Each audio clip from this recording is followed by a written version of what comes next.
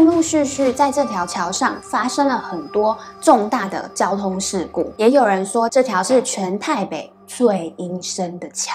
这条桥到底发生过什么事情？为什么让大家这么害怕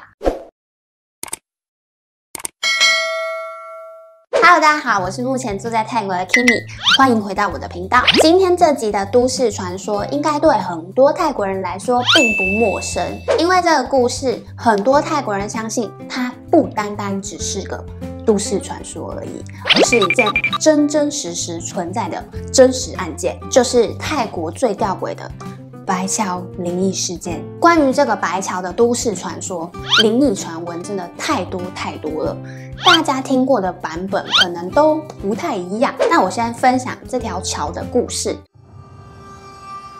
位在泰国东北的孔敬大学，因为整座桥的桥面跟扶手都是白色，也被称之为白桥。以前这个区域呢，原本是一条运河，两边都是一堆杂草丛生的小树木。大概在一九六四年，与孔敬大学商讨后，决定要在这个运河上。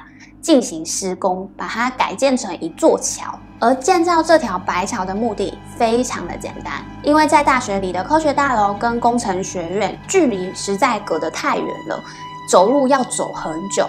单纯就是为了缩短两栋大楼的距离，这样子学生在跑课的时候走过来走过去比较快。而且骑车这样骑过来骑过去也非常节省时间，不会像之前一样都一定要绕路才到达得了。在大家都很开心，耶！以后终于不用再绕远路了。诡异阴森的事情就开始接二连三的在这条白桥上发生了。这条桥完工后没多久，就有人站出来表示说：“哎，他在这条桥发生了无法用常理解释的灵异事件。”起初呢，是建造白桥的工人常常意外死亡，也有人说在桥上看到有女子在招手。不过一开始大家听到这些传闻的时候，不以为意，觉得一定是看错了，怎么可能有人在招手？但是说自己在桥上遇到灵异怪异的事的人越来越多，越来越多，也陆陆续续在这条桥上发生了很多重大的交通事故，说的人慢慢的变多了。大家也都开始慢慢的，好像相信了白桥，也在众多谣言当中，慢慢的变成大家很忌讳经过的一个路段。也有很多人开始谣言啊，这条是全台北最阴森的桥。这条桥到底发生过什么事情？为什么让大家这么害怕？这其中的背景要从早期泰国的历史开始说起。传闻这个地区过去是一个古战场。在当时，因为战乱，打仗的警察啊、士兵啊，都在这一区战死了，就把这片土地用来埋葬这些伤亡人士的尸体，没有火化或者是火葬，就是直接土葬。尸体在这个区域，把尸体都埋葬在这里了。这里就是乱葬岗，到处都是坟墓的概念。也有其他传言是说，其实早期死于麻风病的村民啊，都被葬在这个区域。所以一直以来呢，这一带不太会有人会路过这一条路。后来随着时间呢，大家好像都渐渐遗忘了这件事情。在这个地区呢，建起了一座大学。说来也奇怪，在建学校的时候没发生什么大事啊，也很顺利的在理想的时间完成建校。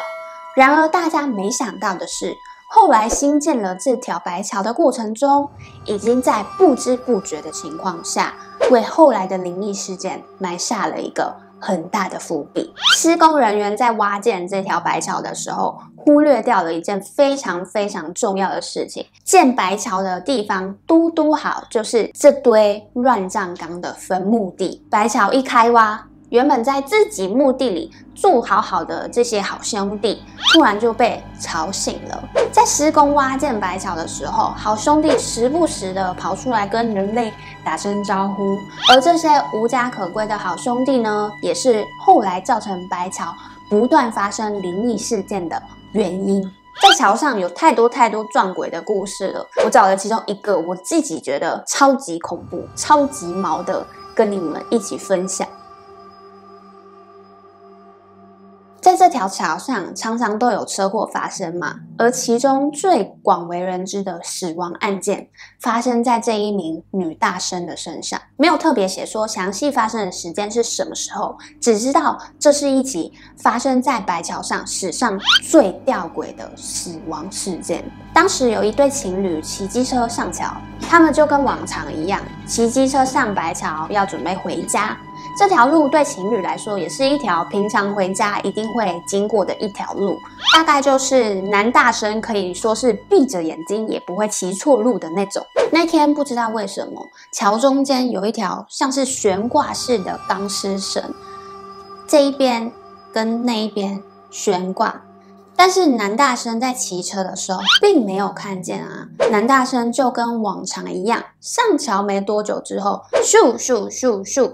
骑得很快，这个时候呢，那条悬挂的钢丝绳就快速的从后座女大生的脖子刷了过去，脖子就被扯断了。直到下桥后，男大生准备在加油站加油的时候，才发现，哎，后座的女大生怎么不见了？头往回一看，看见女大生的身体，头在这边，身体在那边。经过这件事情之后。